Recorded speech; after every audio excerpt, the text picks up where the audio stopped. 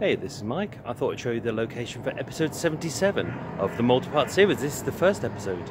Uh, I'm on Lucan Lu- uh, number two Lucan Place uh, in Chelsea, Knightsbridge. Um, nice quiet street. It's a residential street. Nice posh flats there, expensive flats. Uh, council flats down there, posh flats there. People going on holiday in the plane over there. But this is the important bit. This is this is uh, number two Lucan Place.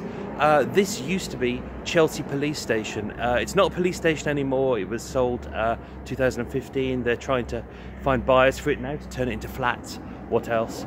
Uh, there's guardians living there now. But this was Chelsea Police Station, where on the 28th of February 1949, uh, John George Haigh was brought here to be questioned by the police over the disappearance of Mrs. Mrs. Uh, Olive Durand Deacon. That's all they knew at that point. They were suspicious of things, but it was here, inside this building, uh, that he would give his confession, which would literally open up the case on everything. And this is where our story starts.